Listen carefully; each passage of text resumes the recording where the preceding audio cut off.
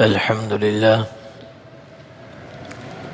الحمد لله وكفى وسلام على عباده الذين اصطفى. أما بعد. فأعوذ بالله من الشيطان الرجيم. بسم الله الرحمن الرحيم.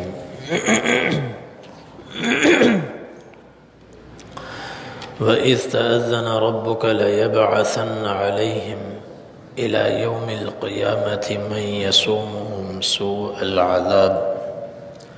إن ربك لسريع العقاب وإنه لغفور رحيم. وقطعناهم في الأرض أمما منهم الصالحون ومنهم دون ذلك. وبلوناهم بالحسنات والسيئات لعلهم يرجعون.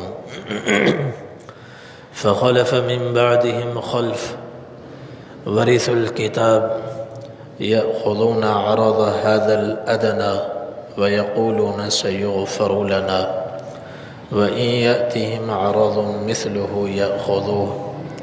ألم يؤخذ عليهم ميثاق الكتاب ألا يقولوا على الله إلا الحق ودرسوا ما فيه. والدار الآخرة خير للذين يتقون أفلا تعقلون. والذين يمسكون بالكتاب وأقاموا الصلاة إنا لا نضيع أجر المصلحين. صدق الله العظيم. میرے محترم دوستو، میرے بھائیو، یہ صورت الاعراف کی چار آیات کریمہ ہیں۔ آیت نمبر ایک سو سڑسٹھ سے آیت نمبر ایک سو ستر تک۔ ان آیات کریمہ میں اللہ تبارک و تعالی نے بنی اسرائیل کی بدعنوانیوں کا ذکر فرمایا، ان کی کچھ برائیوں کا تذکرہ کیا جو وہ کیا کرتے تھے، جن میں وہ مبتلا تھے۔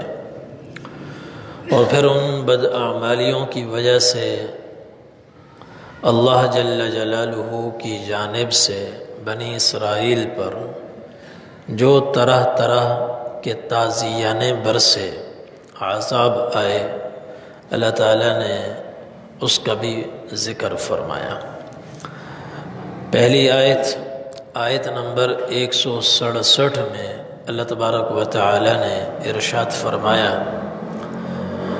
بنی اسرائیل کو، بنی اسرائیل کے متعلق وَإِذْ تَأَذَّنَ رَبُّكَ لَيَبْعَثَنَّ عَلَيْهِمْ إِلَى يَوْمِ الْقِيَامَةِ مَنْ يَسُومُهُمْ سُوءَ الْعَذَابِ کہ تمہارے رب نے انہیں باخبر کر دیا تھا، ان کو بتلا دیا تھا کہ اگر تم اپنے کفر سے بدعمالیوں سے، شرارتوں سے باز نہ آئے تو قیامت تک اللہ تبارک و تعالی تم پر وقفے وقفے سے ایسے ظالم حکمران مسلط فرمائیں گے جو تمہیں طرح طرح کی اذیتیں دیں گے، عذاب دیں گے۔ بنی اسرائیل کو اللہ تعالیٰ نے تورات میں اس سے باخبر کر دیا۔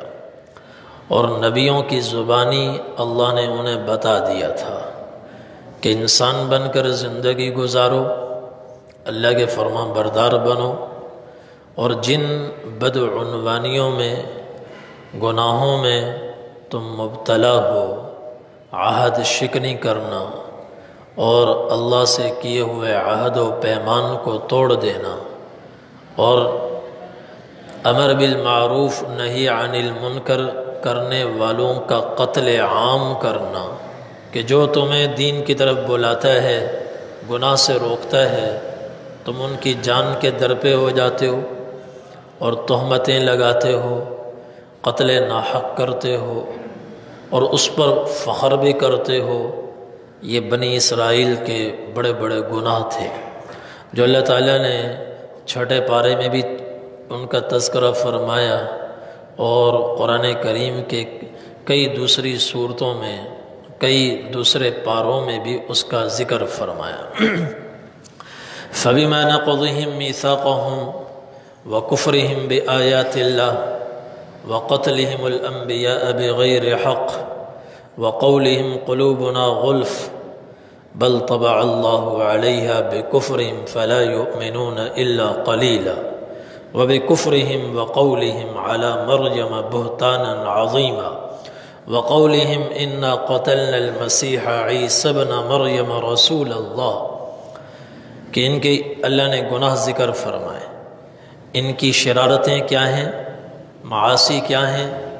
ایک تو یہ اللہ سے عہد کر کے اس کو توڑ دیتے ہیں۔ فبیما نقضهم میثاقهم لوگوں سے عہد و پیمان کر کے پھر اس کو توڑ دیتے ہیں، وعدے کرتے ہیں، عہد کرتے ہیں، معاہدے کرتے ہیں۔ پھر آنے والے حالات میں دو پیسے کا فائدہ ہو معاہدہ توڑنے میں تو ایک منٹ لگاتے ہیں، دو پیسوں کے لیے معاہدہ توڑ دیتے ہیں۔ معاہدہ توڑ دیتے ہیں۔ زبان کا ان کے ہاں کوئی پاس نہیں ہے، کوئی خیال نہیں ہے۔ وقف رحم آیات اللہ جو حکم اللہ کا حکم ان کی مرضی کے خلاف ہوتا ہے، خواہش کے خلاف ہوتا ہے، اس کا انکار کر دیتے ہیں۔ اور نبیوں کو قتل کرتے ہیں وہ قتل الانبیاء بغیر حق۔ اور وقولہم قلوبنا غلف۔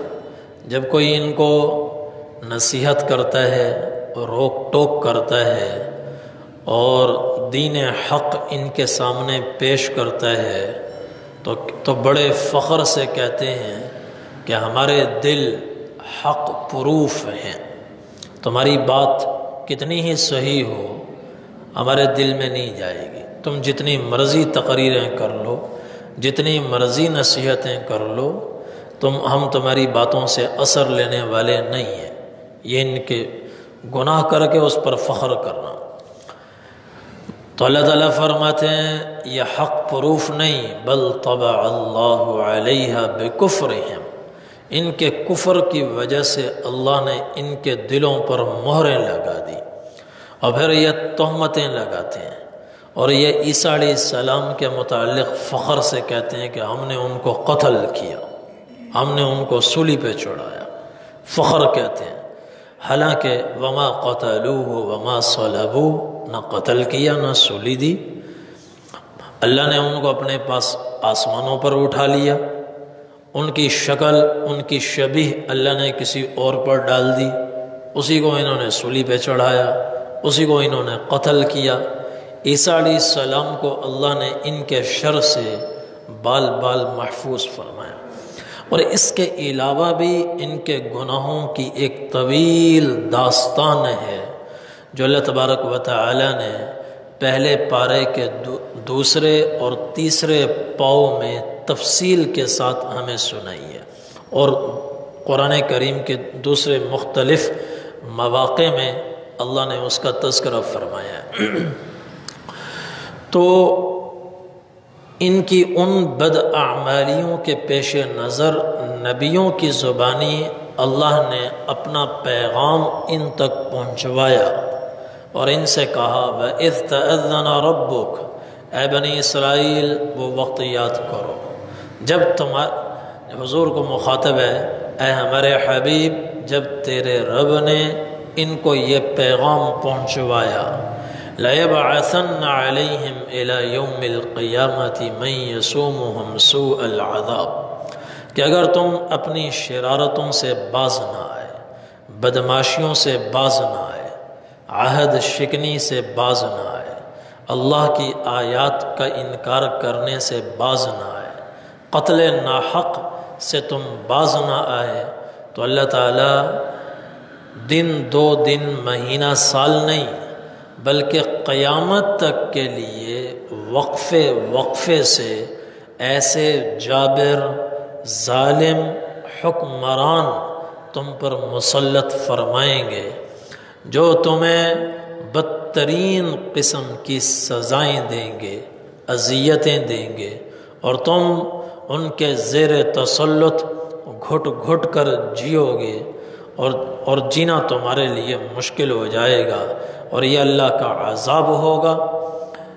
وہ عذاب اس پاداش میں آئے گا، اس سبب سے آئے گا کہ تم نے اللہ کی آیات کا انکار کیا۔ اللہ کے احکامات کا انکار کیا، دین حق کو تم نے چھوڑ دیا۔ تو فرمائے ان ربک اور اللہ تعالیٰ نے پھر ایسا ہی کیا۔ کبھی ان پر رومی مسلط ہو گئے، کبھی ان پر دوسری قومیں مسلط ہو گئیں، کبھی پارسی مسلط ہو گئے، اور کبھی نصارہ ان پر مسلط ہو گئے۔ پھر مختلف ادوار کے بعد اسلام کا زمانہ آیا تو یہ اہل اسلام کے محکوم بن کر رہے اور مغلوب بن کر رہے، مقہور بن کر رہے، ذلت کے ساتھ جزیہ دیتے رہے، خراج دیتے رہے۔ تو ہر دور میں اللہ نے ان پر ایسے حکمران مسلط فرمائے۔ اور ان کی مجموعی تاریخ میں، بنی اسرائیل کی مجموعی تاریخ میں، پوری تاریخ میں اکثر یہ لوگ دوسروں کے محکوم ہی رہے۔ یہ اب جا کر، اب جا کر ان کی سلطنت قائم ہوئی ہے اور نہ جانے کب تک قائم رہتی ہے۔ ورنہ انیس سو یہ پچھلی صدی سے پہلے تک ہمیشہ محکوم رہے۔ اب جا کر ان کو سلطنت ملی۔ ورنہ یہ ہزاروں سال در بدر رہے۔ خانہ بدوشی کی زندگی گزارتے رہے۔ اور یہ یہ جو حالت ان کو ملی ہے، یہ بھی قرآن کے خلاف نہیں ہے۔ آگے آیت آ رہی ہے۔ اللہ تعالیٰ فرما رہے ہیں وَبَلَوْنَهُمْ بِالْحَسَانَاتِ وَالسَّيِّئَاتِ۔ ہم ان کی زندگی میں اچھے برے حالات لا کر انہیں آزمائیں گے۔ برے حالات زیادہ تر رہیں گے۔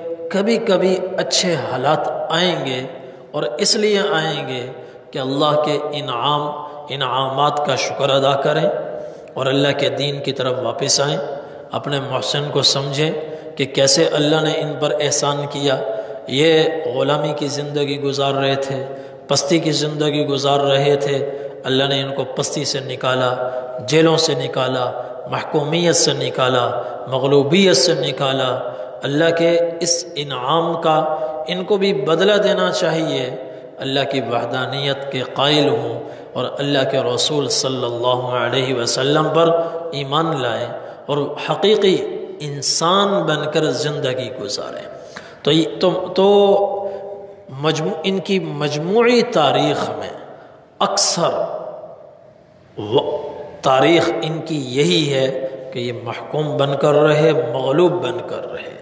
اور پس کر رہے اور ہر حکمران نے ان ان کو اپنے شکنجے میں کس کے رکھا اور یہ جزیہ دیتے رہے، ٹیکس دیتے رہے، تاوان دیتے رہے، یوں انہوں نے زندگی گزاری۔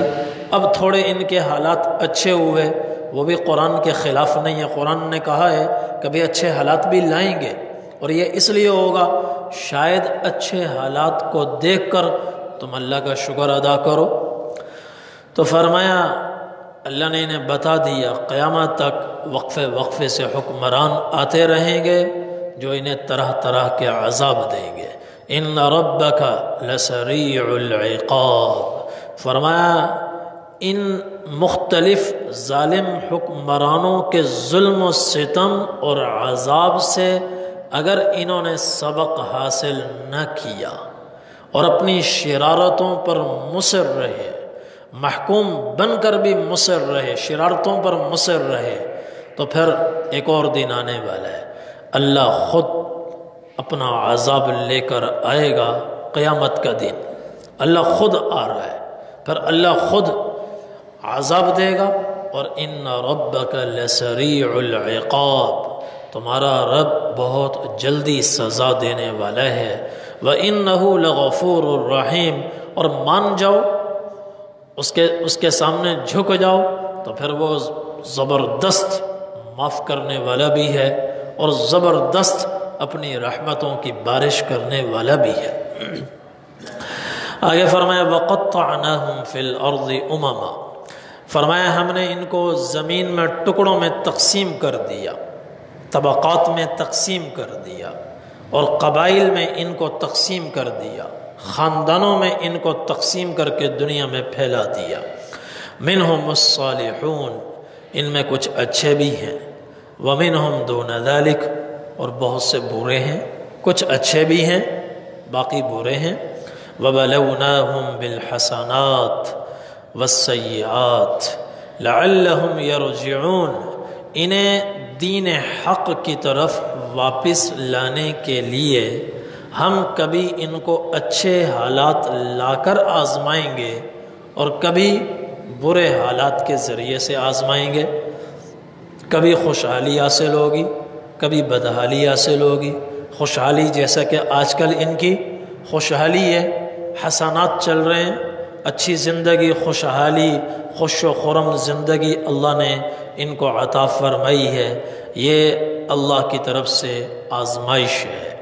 کس بات کی آزمائش ہے؟ لعلہم یرجعون، کہ پچھلے دو ہزار سال میں ظلم و ستم کی چکی میں پستے رہے، اس سے انہوں نے سبق حاصل نہیں کیا۔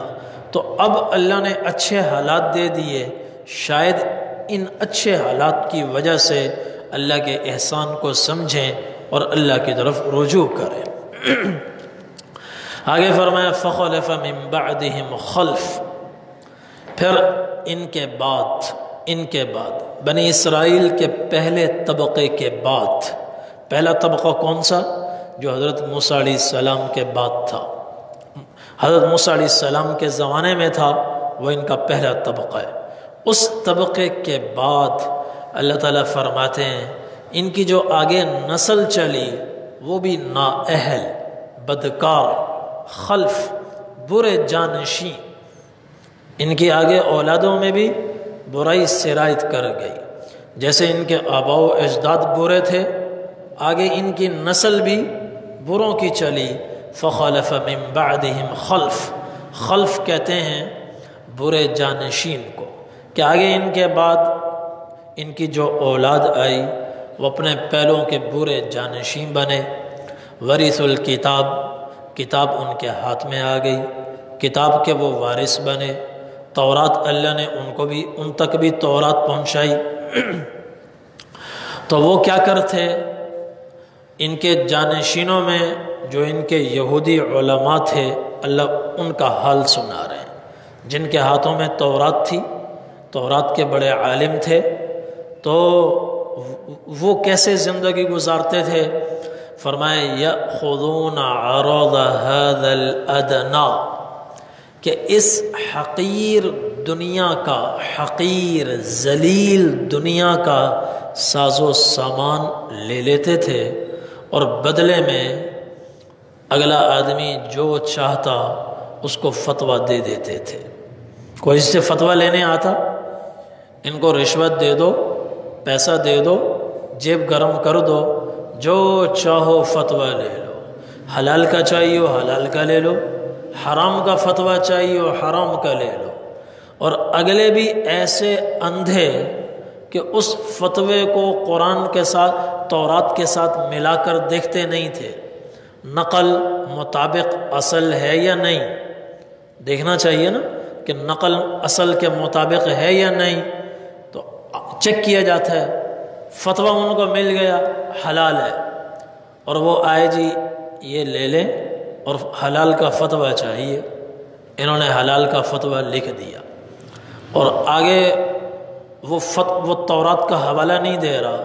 وہ کہہ وہ کہہ رہے ہیں، ہمارے حضرت صاحب نے یوں فرمایا تھا۔ حضرت صاحب نے یوں فرمایا تھا۔ تو اس لیے اللہ نے ازل سے آدم علیہ السلام کے زمانے سے ہدایت کے دو سلسلے جاری فرمائے، کتاب اللہ رجال اللہ۔ اللہ کی کتاب اللہ کے بندے۔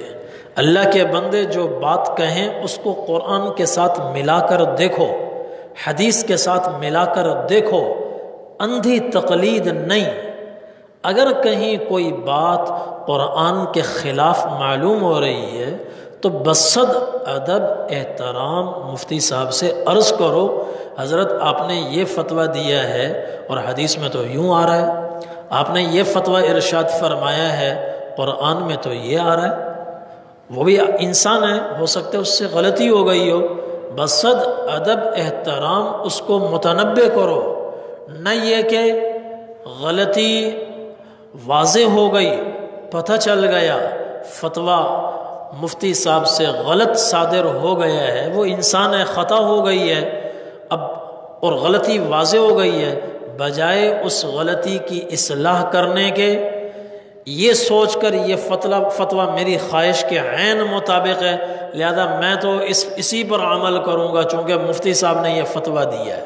یہ غلط ہے، یہ غلط ہے۔ تو اللہ تعالیٰ نے بنی اسرائیل کا حال بیان فرمایا، ان کے علماء کا، کہ وہ رشوت خور تھے، رشوت لینے والے تھے، پیسے لے کر سامنے والا جیسا چاہتا ان سے فتویٰ لے لیتا اور اور رشوت لے کر غلط فتوے صادر کر کے اوپر سے کیا کہتے؟ ویقولون یہ کہتے سیغ فرولنا اللہ معاف کر دے گا، اللہ معاف کر دے گا سیغ فرولنا اللہ معاف کر دے گا۔ حالانکہ بغیر توبہ کے اللہ معاف نہیں فرماتے اللہ یہ کہ اللہ کا فضل ہو جائے۔ معافی کے لیے اللہ نے قانون بیان کیا ہے کہ توبہ کرو اور توبہ کا اور توبہ کی شرط یہ ہے آگے گناہ نہ کرنے کا عزم ہو۔ جب توبہ کر رہے ہیں، اس وقت پختہ عزم ہو کہ میں آئندہ یہ گناہ نہیں کروں گا۔ یہ سچی توبہ ہے۔ پھر بعد میں اگر گناہ ہو جائے، دوبارہ توبہ کرو۔ دوبارہ توبہ کرو۔ تو یہ گناہ کرتے رشوت لیتے اور اپنی اس غلطی پر اظہار ندامت کیے بغیر، توبہ کیے بغیر رشوت لیتے، جیب گرم کرتے، ساتھ میں کہتے، وَيَقُولُونَ سَيُغْفَرُ لَنَا۔ اللہ معاف کر دے گا، اللہ معاف کر دے گا۔ اور یہ کہتے ہوئے آگے توبہ بھی ان کی، یہ الفاظ بھی اتنے کچے ہوتے تھے۔ وَإِن يَأْتِهِمْ عَرَضٌ مِثْلُهُ يَأْخُذُوا دو منٹ کے بعد ایسی رشوت دوبارہ ان کے پاس آ جائے تو پھر وہ لے لیں گے۔ انکار نہیں ہے۔ یعنی یہ لفظ کہتے ہوئے کہ اللہ معاف کرے گا، یہ نیت نہیں ہے کہ آئندہ ہم رشوت نہیں لیں گے۔ ابھی لیے رشوت اور کہا اللہ معاف کرے گا۔ دو منٹ کے بعد دوبارہ رشوت مل جائے، پھر لے لیں گے۔ اللہ تعالیٰ فرماتے ہیں علم یؤخذ علیہم میثاق الکتاب؟ کیا تورات میں اللہ نے ان سے پختہ عہد نہیں لیا تھا؟ اللہ یقول علی اللہ الا الحق، کہ یہ اللہ کے متعلق ہمیشہ حق بات کہیں گے، غلط باتوں کی نسبت اللہ کی طرف نہیں کریں گے۔ جب اللہ نے یہ عہد لیا تھا، پھر کیوں جان بوجھ کر غلط فتوے دیتے ہیں؟ حلال کو حرام کرتے ہیں۔ حرام کو حلال کرتے ہیں اور اس کی نسبت اللہ کی طرف کرتے ہیں۔ یہ اس عہد کے بھی خلاف ہے، ان کے اپنے علم کے بھی خلاف ہے۔ دیدہ دانستہ اللہ کی کتاب میں تحریف کرتے ہیں۔ ود رسو معافی حالانکہ یہ تورات کو صبح و شام پڑھتے ہیں اور جانتے ہیں کہ ہم غلط فتویٰ دے رہے ہیں۔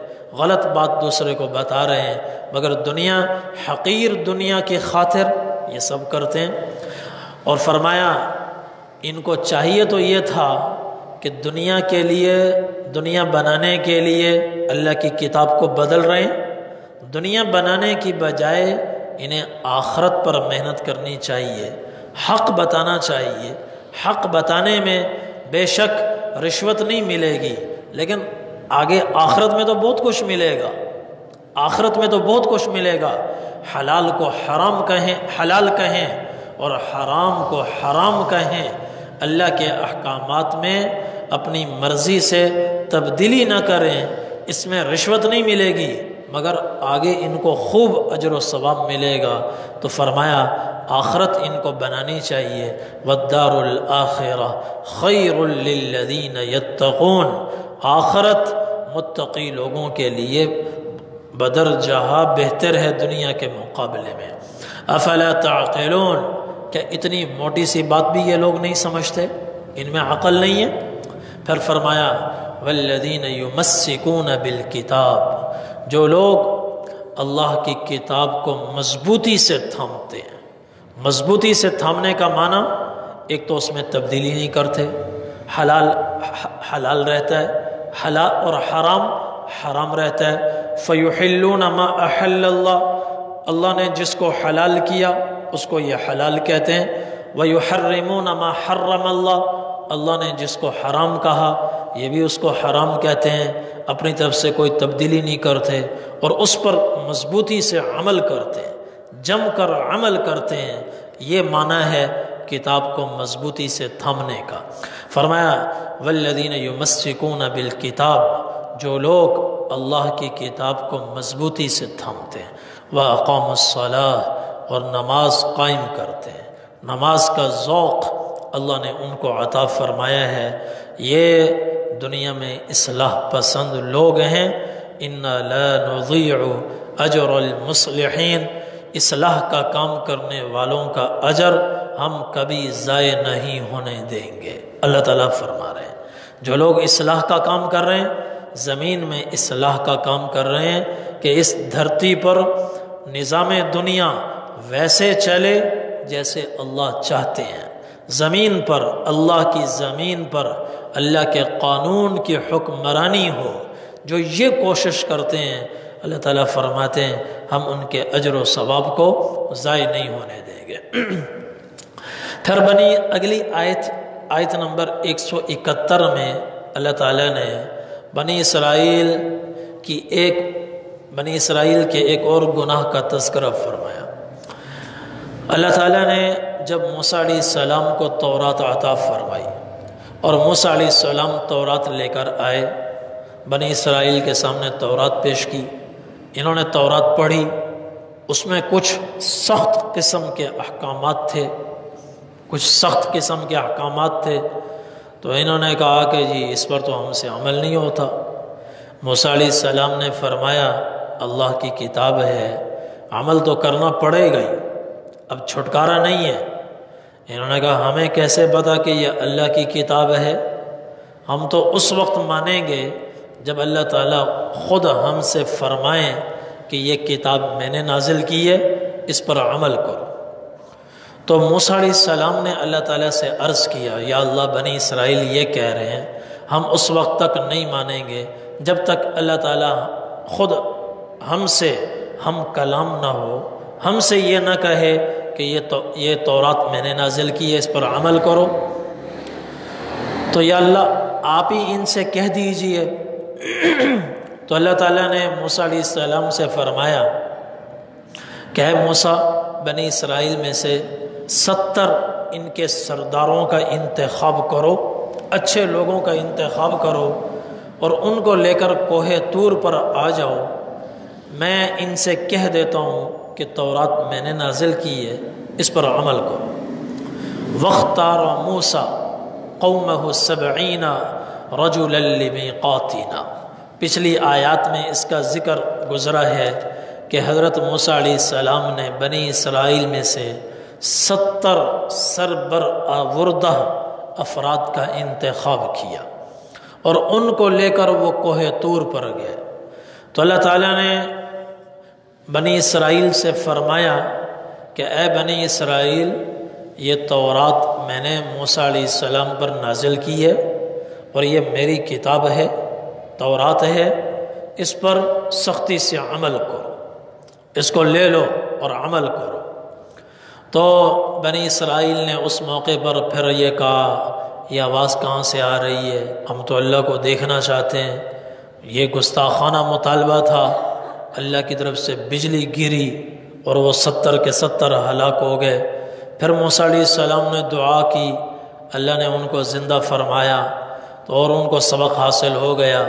اللہ نے فرمایا، جا کر اپنی قوم کو اطلاع کرو کہ یہ کتاب میں نے نازل کی ہے، اس پر عمل کرو۔ چنانچہ وہ کوہ طور سے نیچے اترے، بنی اسرائیل کے پاس آئے۔ اور بنی اسرائیل نے پوچھا ہاں بھائی، بتاؤ، کیا ہوا؟ تو یہاں بات انہوں نے اللہ تعالیٰ کی پہنچائی، مگر اس میں بھی کچھ اپنی طرف سے اضافہ کر دیا۔ انہوں نے یہ کہا کہ اللہ تعالیٰ نے فرمایا ہے تو رات میں نے نازل کی ہے اور اس پر عمل کرو۔ اور ساتھ میں اللہ نے یہ بھی فرمایا ہے، جتنا تم سے عمل ہو سکے کرنا، جہاں عمل نہ ہو سکے اس کو چھوڑ دینا۔ جتنی ہمت ہو عمل کر لینا، جہاں نہ کر سکو کوئی بات نہیں۔ یہ بات انہوں نے اپنی طرف سے گھڑ کر کہی۔ تو پھر بنی اسرائیل نے کہا کہ ٹھیک ہے، اس طرح ہم عمل کرنے کو تیار ہیں۔ تو جو حکم ان کی مرضی کے مطابق ہوتا، عمل کرتے۔ جو حکم مرضی کے خلاف ہوتا، تو یہ کہتے، اللہ نے ہمیں چھوٹ دی ہے، یہ بھی اسی چھوٹ میں۔ یہ اللہ نے ہمیں استثناء دیا ہے، یہ استثناء میں۔ تو اس پر اللہ کا قہر و غضب نازل ہوا۔ اللہ نے پھر کیا کیا؟ فرمایا، وَإِذْ نَتَقْنَ الْجَبَلِ فَوْقَهُمْ كَأَنَّهُ ظُلَّ وَظَنُّوا أَنَّهُمْ وَاقِعٌ بِهِمْ۔ اللہ نے کیا کیا؟ کوہ تور کو اللہ نے جڑ سے اٹھایا۔ پورے کوہ تور کو، پہاڑ کو اللہ نے جڑ سے، یہاں ذکر ہے پہاڑ کو۔ پہاڑ کون سا تھا؟ سورہ بقرہ میں اس کا ذکر ہے۔ وَإِذْ أَخَذْنَا مِيثَاقَكُمْ وَرَفَعْنَا فَوْقَكُمُ الطُّورِ وہاں تور کا ذکر ہے، پہاڑ کا نام مذکور ہے۔ کوہ تور کو تور کے پورے پہاڑ کو اللہ نے یوں جڑ سے اٹھایا اور اٹھا کر اللہ پاک اوپر لے گئے اور لا کر بنی اسرائیل ایک بڑے میدان میں تھے جو فرسخن فی فرسخ لمائی میں بھی تین میل چوڑائی میں بھی تین میل یہ ان کے بیچ میں تھے۔ اللہ نے پہاڑ ان کے سر پر لا کھڑا کیا اور ایسے کھڑا ہو گیا جیسے اوپر سائبان ہو۔ اور ان کے اور پہاڑ کے درمیان صرف انسانی قد کے برابر فاصلہ تھا۔ وَظَنُّوا أَنَّهُمْ أَنَّهُ وَاقِعٌ بِهِمْ۔ بنی اسرائیل کو یقین ہو گیا تھا۔ اب اگر ہم اس کتاب پر عمل کرنے کا اقرار نہیں کرتے، عہد نہیں کرتے، تو اللہ یہ پورا پہاڑ اٹھا کر ہمارے سروں پر گرا دیں گے اور ہم اس کے نیچے دب کر ہمیشہ ہمیشہ کے لیے فنا ہو جائیں گے، نشان عبرت بن جائیں گے۔ تو جب یہ کیفیت پیدا ہوئی تو ایک دم سارے بنی اسرائیل سجدے میں گر گئے۔ سجدے میں گر گئے۔ اور سجدے میں کیسے گرے؟ سجدے میں چونکہ خوف تھا خوف تھا کہ پہاڑ کہیں اوپر ہی نہ آ جائے۔ تو دائیں دائیں، بائیں آنکھ اور بائیں رخسار پر انہوں نے سجدہ کیا۔ دائیں آنکھ سے اوپر پہاڑ دیکھتے رہے کہ کہیں اوپر سر پر ہی نہ آ جائے۔ اس طرح انہوں نے سجدہ کیا۔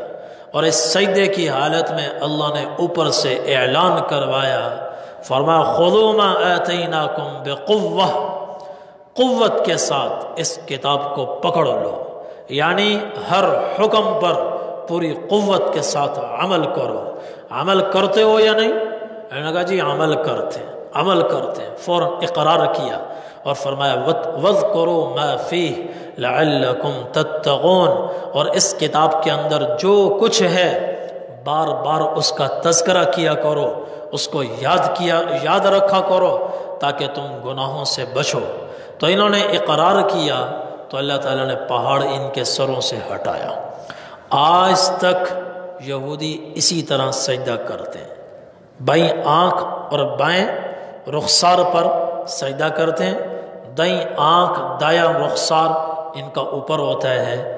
اور یہ کہتے ہیں، چونکہ اس طرح ہم نے سجدہ کیا تھا تو اللہ کا عذاب ہم سے ٹلا تھا۔ اس طرح ہم نے سجدہ کیا تھا تو اللہ کا عذاب ہم سے ٹلا تھا۔ اگر ہم وہ سجدہ نہ کرتے تو آج ہماری کوئی نسل باقی نہ ہوتی، ہمیشہ کے لیے ہم مٹ جاتے۔ تو اس سجدے نے ہمیں اللہ کے عذاب سے بچایا تھا۔ اس لیے آج تک وہ اپنی اسی یاد کو باقی رکھتے ہیں، اسی طرح سجدہ کرتے ہیں۔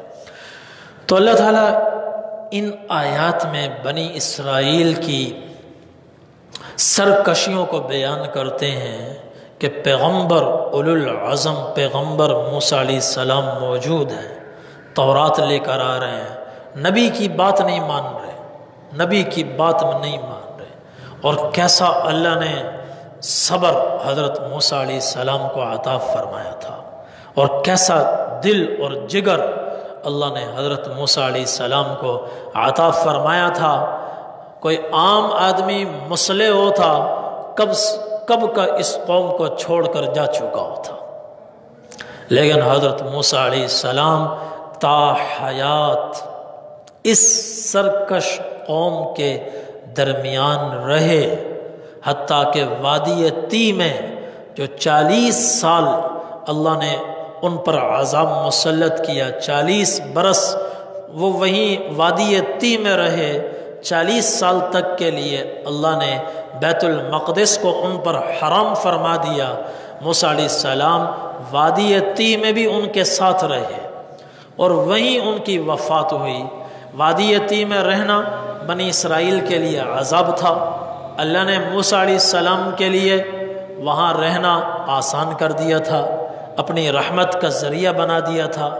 پھر وفات کا جب وقت آیا تو موسیٰ علیہ السلام نے اللہ تعالیٰ سے دعا کی، یا اللہ، رب ادنینی من بیت المقدس۔ یا اللہ، مجھے بیت المقدس کے قریب فرما دے، تاکہ میرا آخری وقت ہے، میری قبر وہیں بیت المقدس میں بنے، سرزمین فلسطین میں بنے۔ تو اللہ تعالیٰ نے زمین کو سمیٹ دیا۔